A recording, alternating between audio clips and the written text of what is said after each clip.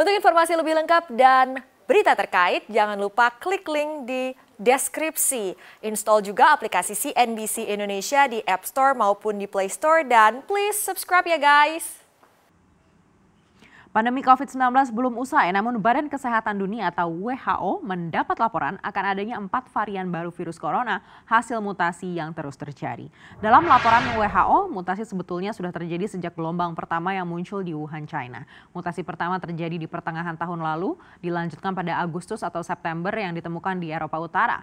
Varian baru yang ditemukan di Inggris dan penularannya tidak terkendali disebut sebagai SARS-CoV-2 VOC 2020 12 garis miring 01. Namun WHO belum menemukan jawaban atas asal varian baru ini. Sementara varian baru terakhir yang diketahui menyebar di Afrika Selatan diidentifikasi sebagai 501YV2.